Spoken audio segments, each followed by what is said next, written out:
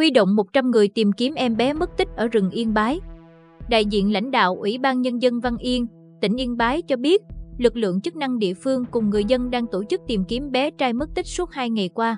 Ủy ban Nhân dân huyện Văn Yên huy động hơn 100 người chia thành nhiều mũi để tìm kiếm cháu bé 6 tuổi nghi bị lạc trong rừng từ trưa 17 tháng 8. Bé trai mất tích là D, 5L sinh năm 2018, ở thôn Khay Dạo, xã Lâm Giang, huyện Văn Yên. Trước đó, trưa 17 tháng 8, cháu D, 5L cùng gia đình đi ăn rằm tháng 7 tại nhà họ hàng. Chiều cùng ngày, trên đường trở về nhà, cháu L cùng 8 người bạn dừng chân tại khu vực đồi sau nhà hái quả. Tuy nhiên, sau đó L một mình rẽ sang đi hướng khác và từ đó không thấy đâu. Người nhà cùng người dân địa phương đã tỏa đi khắp nơi tìm kiếm nhưng không thấy.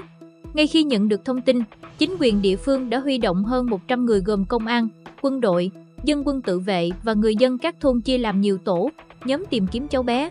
Các lực lượng đã chia làm nhiều ngã tìm kiếm từ sông, suối, trên đồi, giám sát qua các camera dọc tuyến tỉnh lộ 164 để tìm kiếm cháu L. Tuy nhiên, đến hiện tại vẫn chưa tìm thấy dấu vết của cháu.